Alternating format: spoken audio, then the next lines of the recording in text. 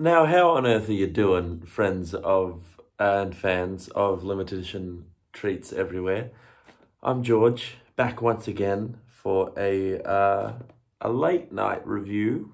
It's uh, early in the morning, the wee hours of the morning here in Melbourne, and I've got for you a new flavour from our friends at Kettle.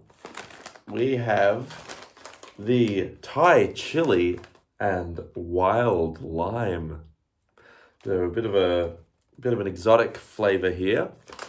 Let's see. Um, at Kettle, we're passionate about creating a great tasting chips.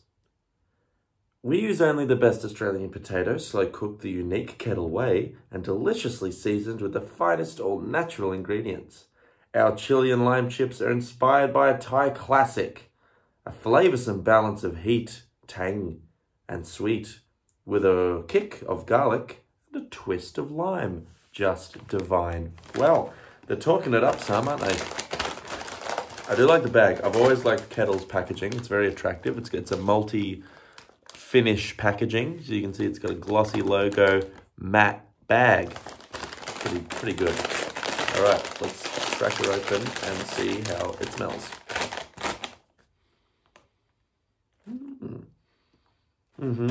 It smells kind of just like a normal chili chip.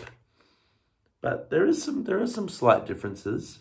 I'm noticing some zest. There's definitely a, a zesty presence to the chip. Big chips too. Look at this. First one in the bag. That's, a that's a that's a hefty chip. I think this is the one. This is the one I'm going to go for. Sorry, just correcting it in my head. All right, you can see it's flavored pretty well. Uh, got got some good stuff going on there. Let's give it a go, shall we?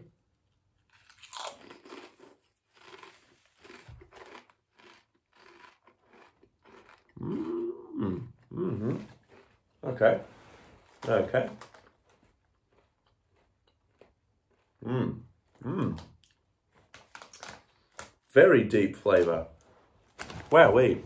Yeah, that's that's really nice.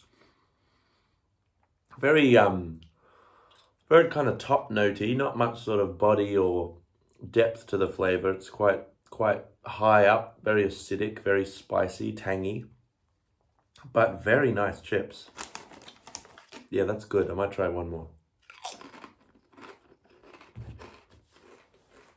Mm.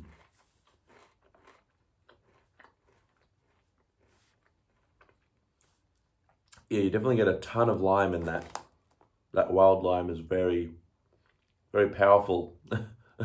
um, but nice.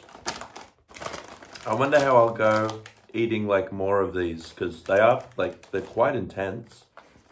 The heat is nice. It's a good level of heat. If you like spicy food, these are super mild. Um, if you've got a sensitive palate, these might be a bit too much for you, but um, check it out, I reckon. Um, yeah, they're good. I reckon I would rate them um, out of 10.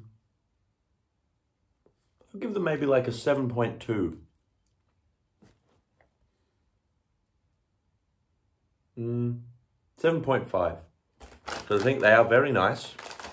Although what keeps them from reaching like an 8, 8 and above rating is they're a bit too intense for me personally. Like I feel like I'd struggle to eat a lot of these at once. But um, the flavor is good, just I guess in moderation. But that's just for me. So you might find them very easy to eat.